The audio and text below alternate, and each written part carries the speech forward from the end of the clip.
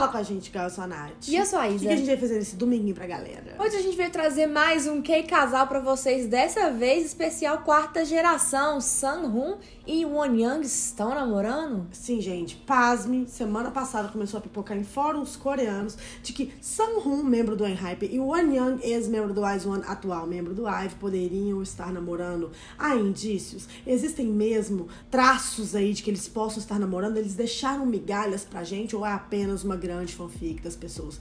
De novo, vamos explicar rapidamente que esse é um novo quadro que a gente tá começando aqui no canal. A gente já fez alguns vídeos, acredito que esse seja o quinto ou sexto.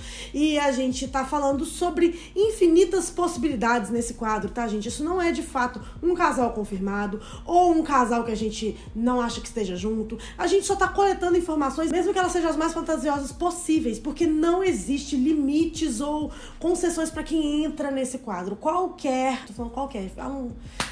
Sabe, aquele mais fantasioso que começou no Twitter Brasil. Se tem alguma pessoa falando disso na internet, pode ser uma possibilidade aqui nesse canal. E no final a gente trabalha com um sistema de selos, onde a gente desenvolveu três categorias pra gente falar sobre esse casal. Então no começo do vídeo a gente vai explicar de onde surgiu, depois dar alguns indícios, ou explicar se os dois têm algum tipo de relacionamento. E no final a gente reserva pra dar a nossa opinião, beleza? Então se inscreve no canal, dá like nesse vídeo, comenta pra esse vídeo chegar em mais pessoas. Nos ajude a chegar em 300k, não falta tanto assim. Você pode ser mais uma pessoa pra nos ajudar hoje. Sim, você também pode nos ajudar lá no nosso Instagram, gente. A gente tá quase com 100k. É só você ir lá seguir, principalmente se você gosta de drama. Temos Instagrams pessoais também, estamos por toda a internet. É só você ir lá seguir, porque se você fica só por aqui, você perde muita coisa. Bom, vamos lá, vamos falar um pouquinho de quem é cada um deles, né? Primeiramente, o Won Young basicamente dispensa explicações, né? A bichinha é um dos maiores nomes da quarta geração. Ela foi membro centro do Ice One e agora ela é membro do Ivy, que também é um dos maiores grupos da quarta geração. Ela basicamente fez parte de dois dos maiores grupos da quarta geração. Essa mulher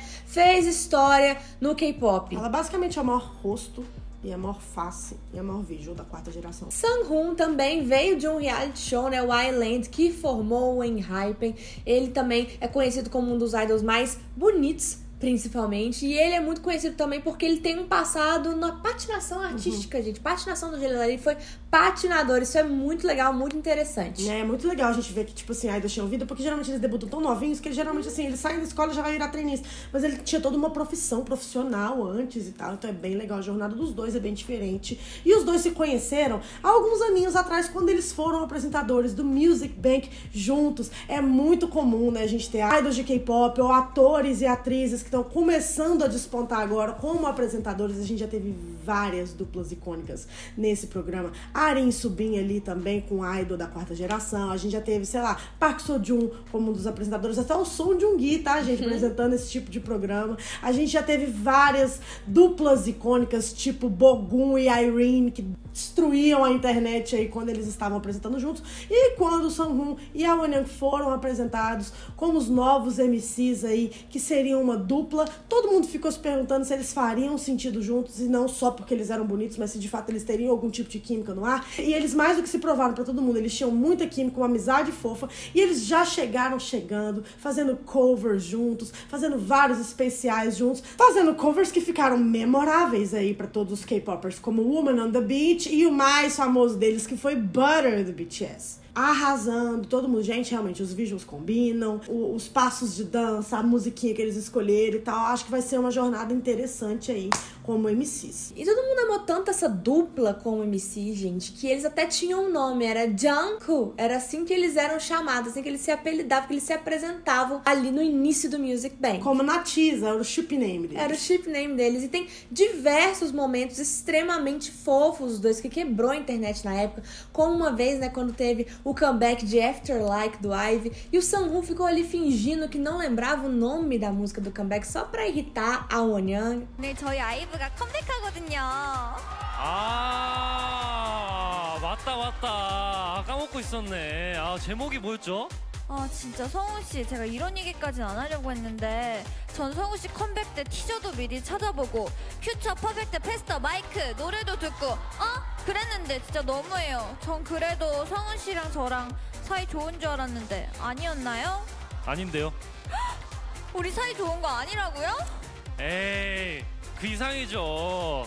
어, more than like, after like, 유후. 아, 뭐 제목까지 알고 계셨네요. 맞아요. 알면서 장난친 거예요. 장꾸주잖아요. Tivemos um momento também em que a Won Young ficou com um pouquinho de ciúme ali da interação do Sanhun com uma outra apresentadora, uma apresentadora substituta que ficou ali no lugar dela quando ela teve compromissos né, fora da Coreia com o Ive. E aí, aí ele ficou atiçando ela, ah, você ficou com ciúme da minha interação, não sei o quê. Um momento realmente de quebrar a internet. 원영 씨 지난주에 안 계셔서 제가 얼마나 허전했는 줄 아세요? 아 그러셨어요? 아 그랬구나. 네. 뭐 뭐 뭐 뭐, 예요 원영 씨저 안 보고 싶었어요? 아 뭐 잘 지내시는 것 같던데요 1일 은행장님이랑? 네? 아니 한번 장꾸면 장꾸지. 자꾸? 자꾸는 또 뭐예요? 아 지금 설마 지난주 방송 보고 질투하시는 거구나. 아우 너무 귀엽네요 정말. Tanto que quando chegou no final de 2021, eles não tinham nem terminado de apresentar. Eles ainda eram, né? Eles tinham alguns meses só de estar apresentando o Music Bank juntos, mas eles já ganharam o KBS Entertainment Award de melhor casal no final do ano. Eles realmente quebraram a internet, todo mundo ficou apaixonado pela química dos dois. Era bonitinho de verdade, a gente não tá falando isso pra forçar chip, não. Realmente, eles, tipo, eram amiguinhos, eles eram profissionais e eles tinham uma energia boa. Então era interessante, porque esses programas, todo mundo vai ver por causa das apresentações de K-pop anyway, mas podendo também gerar, até pra própria audiência do programa, momentos que vão viralizar na internet, no internacional, no YouTube, nos fóruns coreanos, é proveitoso. E como eles tinham essa química que fluía naturalmente, era bom pra todo mundo. Era bom pra gente que era fã dos dois acompanhá-los juntos, era legal a interação deles com os idols, era legal pro próprio programa ter esse trunfo nas mãos de dar mais audiência, então era super legal pra todo mundo envolvido. E uma coisa interessante também, gente, é que a vida de idol, tipo assim, é muito difícil. A vida de idol é uma vida que você tem que sacrificar, às vezes, o que você gosta de comer, o que você gosta de fazer, as pessoas com quem você pode se relacionar.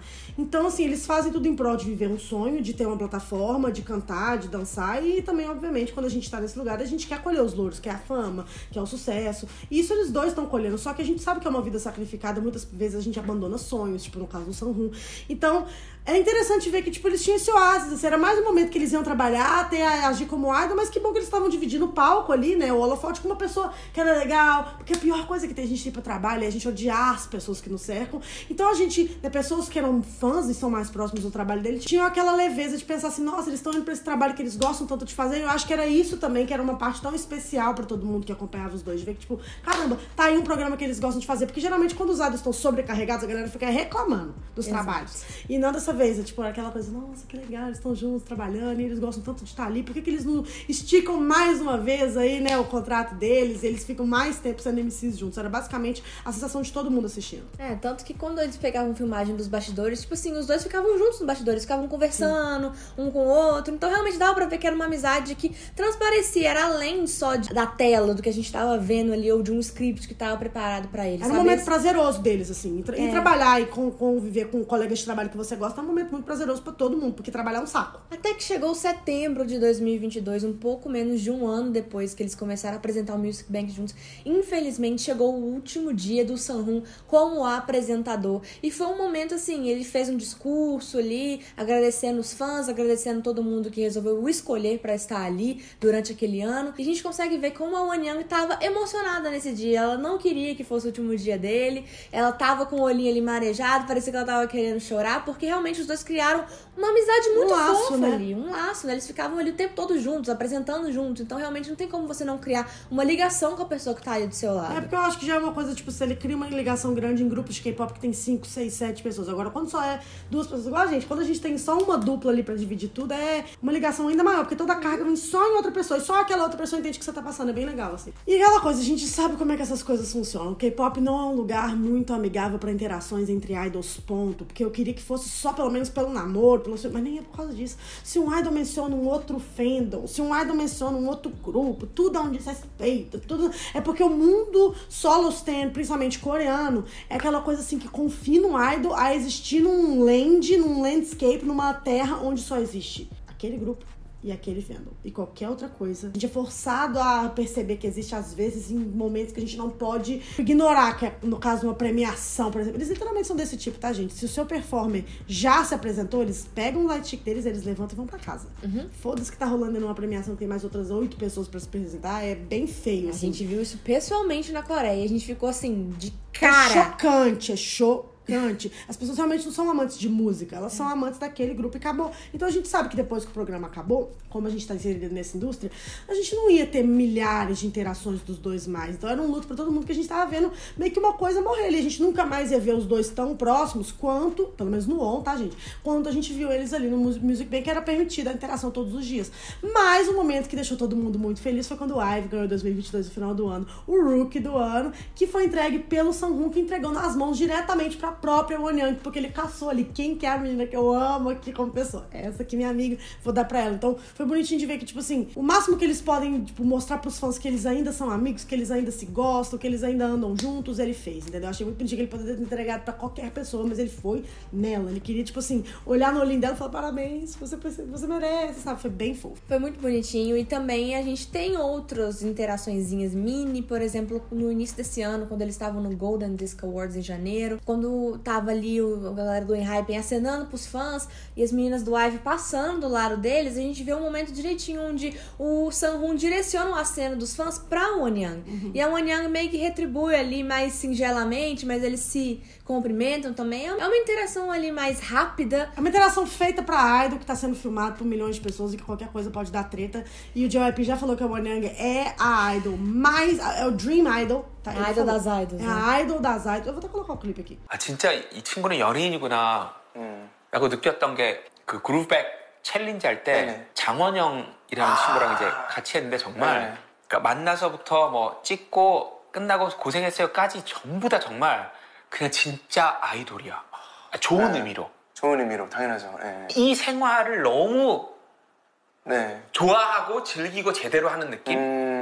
물론 이제 속은 힘들겠지만 그래도 적어도 겉으로 보기에는 É a Idol das Idols. Então, assim, a gente já sabia que... Mas assim, só não, teve- não conseguiu nem enfiar. Ela tem a compostura, né? A Wanyang é assim. E tem um momento também na mesma premiação onde a gente consegue ver, tipo, as meninas do IVE dançando, comemorando ali com Love Dive. E no fundo a gente consegue ver o Sanhun, uma interação mais indireta. Mas o Sanhun aplaudindo ali, né? Cheering up pela Wonyang. Então a galera viu, tipo, pelo menos ali dá pra perceber que mesmo eles não podendo mostrar interação no ON, que eles ainda continuam meio que se apoiando em suas carreiras, mesmo que eles não apresentem mais o Music Back juntos. Mas afinal de contas, tá? Isso aí são coisas que a gente viu no ON porque é permitido. Eles trabalharam juntos, eles não são estranhos e tal. Mas qual que foram os indícios que a galera levantou pra depois de dois anos, praticamente, eles virem a ser cogitados como um casal, sendo que na época eles estavam lá ativamente tendo que fingir, porque essa coisa do Music Bank, eles fingem um pouco no palco que eles são uma, uma coisinha assim romântica, que é normal, é, é, é pro trabalho. Mas por que, que a galera levantou isso? Bom, por causa desses indícios aqui. Basicamente, gente, lembra que a gente falou que os dois tinham se cumprimentado na premiação no início do ano? Essa é uma das evidências, tá? É Evidência de K-pop. É. Vamos lembrar. É K-pop evidências, tá, gente? Você não vai achar que você tá encontrando evidências do sertanejo, evidências de namoro da Anitta, não é isso que você vai encontrar Não. no K-pop, é K-pop. K-pop. Outra evidência é que ambos aparentemente gostam de saguks, que são os dramas históricos, e o dialeto que os acompanha. A Alisou, que é colega do IVE da Wanyang, certa vez compartilhou que a Wanyang é mais engraçada quando fala em um dialeto de saguk. Aparentemente o Sanghun também gosta muito desse dialeto e ele mesmo já o imitou algumas vezes no Weverse para seus fãs. Então assim, basicamente os dois gostam desses dramas históricos como a quarentena, mas os dois gostam de ficar imitando esse sotaque que eles usam pra esses dramas históricos na vida, pra fazer piada, pra ser engraçado. Eles têm basicamente os mesmos maneirismos e eles emprestam essas coisas, tá? Agora que a gente falou pra vocês todos esses grandes indícios, vamos explicar pra vocês, né, nessa parte opinativa, quais são os selos que a gente dá. Quando a gente tá julgando esses casais ao final dos vídeos aqui do Que Casal, a gente vai expressar agora a nossa opinião. Tudo que a gente falou são coisas que realmente são fatos, timelines e tal. Agora é uma parte mais opinativa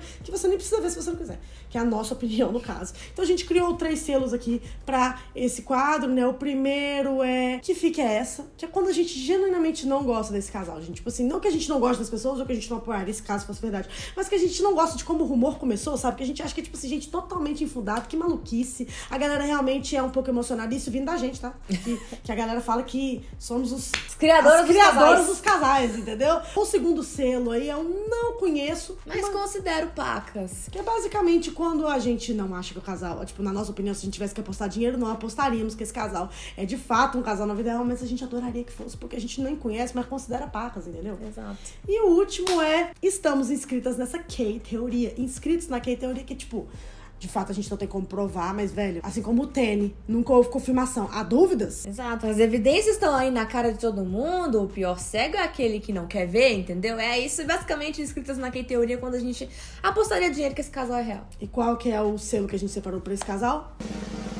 Tcharam! Que Gente, fica que essa? fica essa? Esse casal mereceria um. Não conheço, mas considero pacas, porque eles são muito fofos e que se eles fossem um casal de fato seria muito docinho. Porque eles já mostraram por A mais B que eles são muito bonitinhos e são amigos. Mas como o rumor começou, que é meio tipo bizarrice na nossa cabeça, por isso que ficou ali no. Se tivesse mais evidências, É. eu acho que, tipo assim, e de evidências recentes, tipo assim, coisas de agora. Aí a gente poderia até trazer num considero paca, mas o problema é que não tem evidência, né? Que fique é essa. Que gente. fica é essa, galera? Vamos tirar essas, fic- essas histórias da cabeça, pelo amor de É, Deus. eles são, assim, coreanos, por isso que eles gostam de drama histórico, como todos os coreanos, eles são apenas vivendo. Comenta aqui o que, que vocês acham, gente, sobre esse casal. Eu acho muito fofo, seria doce, mas Seria assim, doce. surgiu com nenhuma evidência, né? Vai seguir a gente nas redes sociais e é isso.